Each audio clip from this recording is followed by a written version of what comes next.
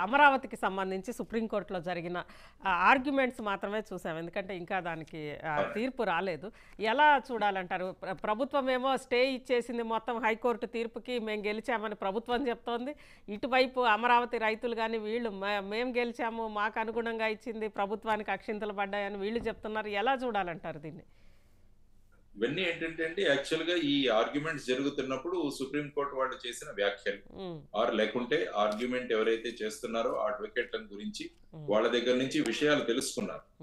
So యాక్చువల్గా మీరు final order వచ్చే వరకు ఇందులో వెయిట్ చేయాలి. అప్పటి వరకు ఏవైతే త్రీ నుంచి సెవెన్ వరకు ఏవైతే మన ఆంధ్రప్రదేశ్ హైకోర్టు వారు ఏవైతే చర్యలు చేయాలని చెప్పేసి ప్రభుత్వానికి ఆదేశాలు ఇచ్చారో వాటి మీద స్టే ఇవ్వడం జరిగింది. ముఖ్యంగా ఒక నెలలో ఇవి సమకూర్చాలి ఆ తర్వాత మూడు నెలల్లో ఇవి చేయాలి తర్వాత ఆరు నెలల్లో ఈ పనులు చేయాలని ఏదైతే టైం లిమిట్ ఫిక్స్ చేశారో వాటి మీద స్టే విధించడం జరిగింది.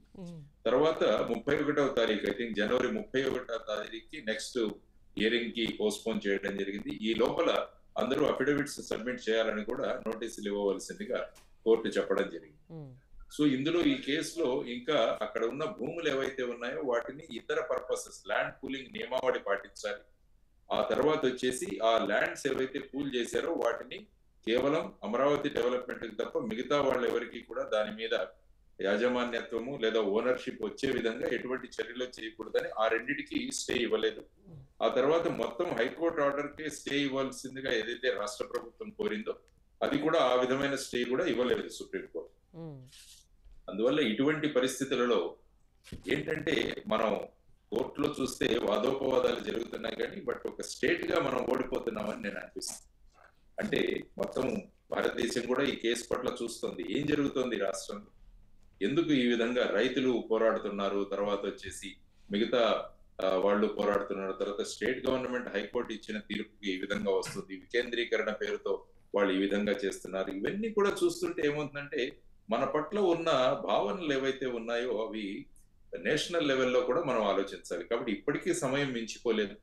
అన్ని స్టేక్ హోల్డర్స్ ఎవరైతే ఉన్నారో వాళ్ళందరినీ పిలిచి అసెంబ్లీ సాక్షిగా తీసుకున్న నిర్ణయాన్ని అమలు చేస్తూ ఇప్పుడు ఫర్ ఎగ్జాంపుల్ హైకోర్టు గురించి అక్కడ జడ్జీలు ప్రశ్నించినప్పుడు అటార్నీ ఎక్స్ అటార్నీ జనరల్ ఉన్నారు. కేకే వేణుగోపాల్ గారు ఆయన చెప్పడం ఏంటంటే హైకోర్టు అన్నది అమరావతిలోనే ఉంటుందని చెప్పడం జరిగింది. కాబట్టి ఎలాగా లెజిస్లేటివ్ క్యాపిటల్ అన్నది అమరావతి తర్వాత హైకోర్టు కూడా ఇప్పుడు అమరావతి అన్నట్టుగా వారి ప్రభుత్వం తరపున ఆయన చెప్పడం జరిగింది.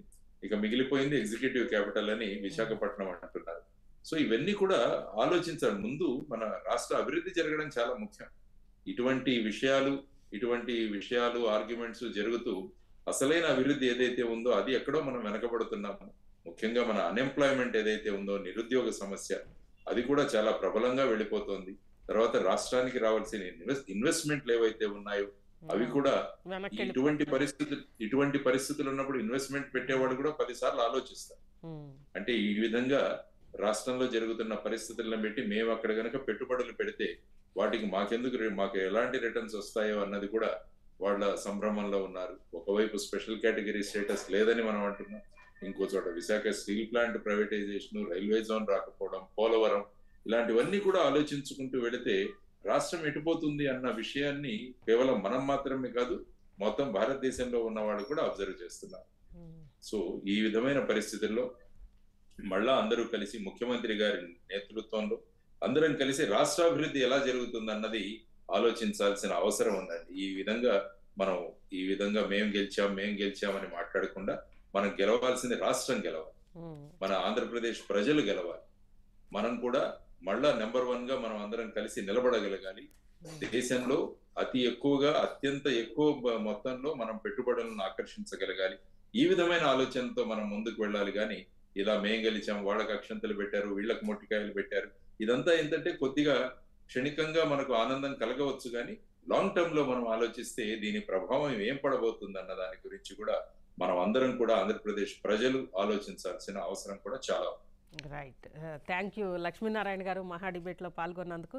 మొత్తం మీద వివేక కేసు విషయం అంటే తెలంగాణ రాష్ట్రంలో ఉన్న సిబిఐ కోర్టుకి uh, బదిలీ చేస్తూ సుప్రీంకోర్టు తీసుకున్న నిర్ణయం కొంత మేరకి అంటే ఇలాంటి నిర్ణయాలు సుప్రీంకోర్టు గతంలో అనేక సార్లు తీసుకుంది. కానీ రాష్ట్రానికి రాష్ట్ర ప్రభుత్వం మాత్రం ఒకసారి ఆలోచించాలి.